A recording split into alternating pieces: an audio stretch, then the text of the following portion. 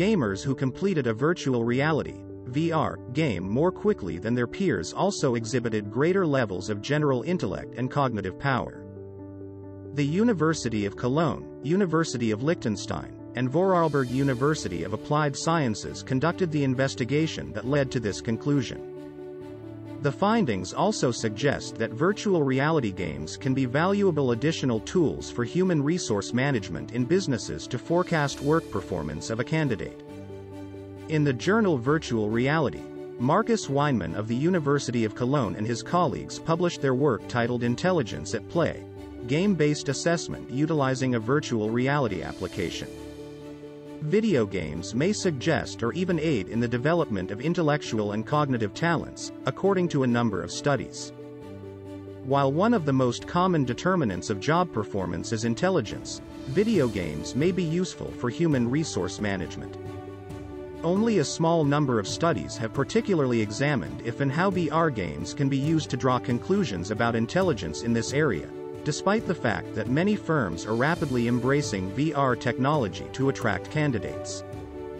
The work of Markus Weinmann and his associates helps to close the knowledge gap between theory and application.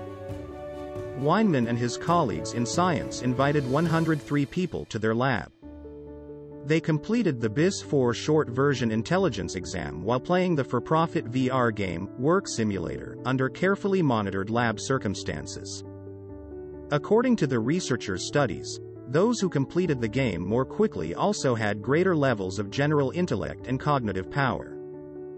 The amount of time spent playing the game decreased with a 17% increase in processing power, by an average of 3.7 minutes.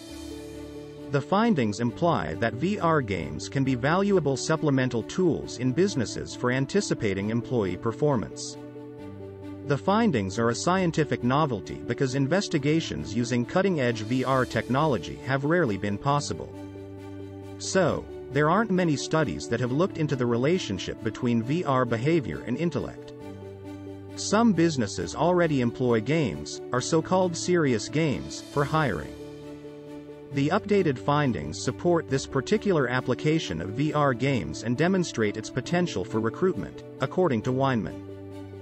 The potential of video games for real-world applications will continue to be studied by scientists. They are looking into, among other things, how individuals interact with avatars in the metaverse.